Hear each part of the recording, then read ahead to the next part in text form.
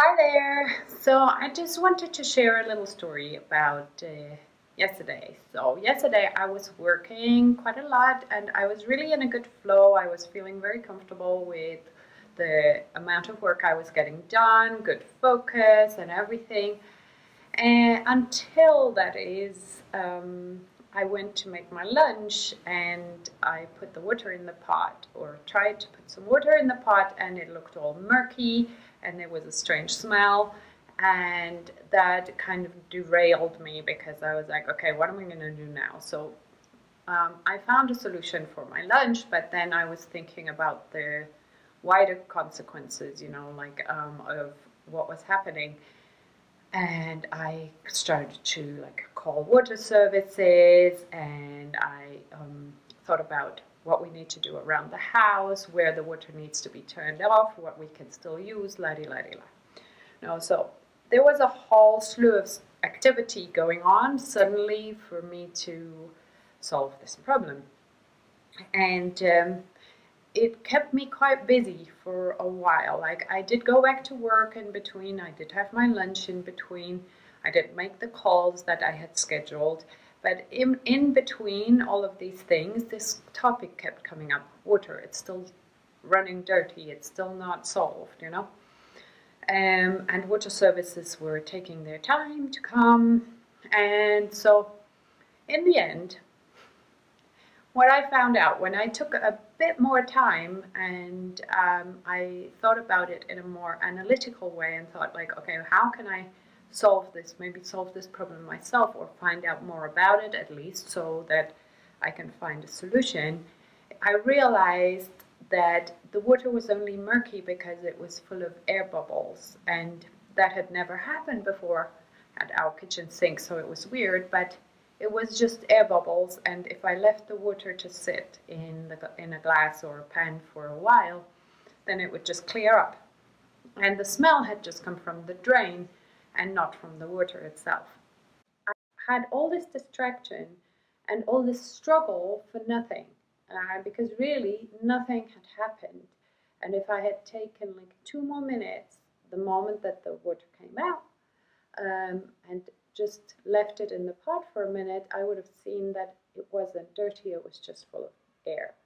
So um, that is one thing that I realized yesterday, you know, to just take a moment, take a deep breath, think about it some more. Don't immediately go into solution mode sometimes it's too early to go into solving mode. You know, this is something that I'm great at in a crisis. I will find your solution like immediately, but um, sometimes I don't even need to find a solution because there's not really a problem. So there was some unnecessary struggle. And then, on top of all of that, there was no internet. Like, absolutely no internet no internet in the house, no internet on mobile data. This was just completely shut down for no reason whatsoever. So first of all, I wasn't too worried. First of all, I was like, okay, I'll just wait like 20 minutes, half an hour. It's probably going to solve itself. You know, don't panic. So after 20 minutes, half an hour, this still was absolutely no progress. So I started sending text messages to people because that seemed like the only communication that was open to me and the phone line to, to my internet provider overall was obviously completely overloaded and wasn't working at all. So there was no no point in trying to call them. And so I started um, sending text messages to people, um, asking them if their internet worked, how big the problem was, you know, trying to figure out like how big that problem actually was. So it turns out the, you know, the lines for the text messages were quite overloaded as well, but at least I got a couple of messages back.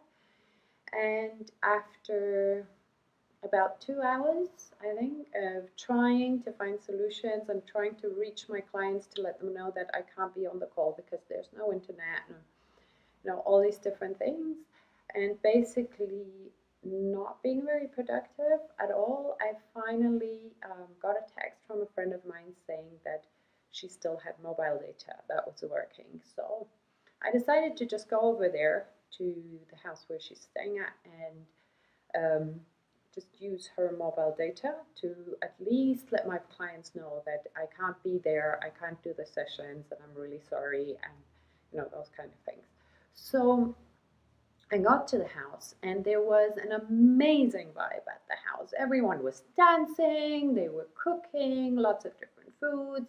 It was absolutely beautiful and I just like um, you know connected to the hotspot and then I just kind of typed out the messages while I was dancing with them and then we were dancing and they invited me to stay for dinner and um, my clients all wrote back to say it's okay they understood it wasn't really a problem and finally I had a wonderful evening uh, which really helped me to relax and to um, make me much, much more productive this morning.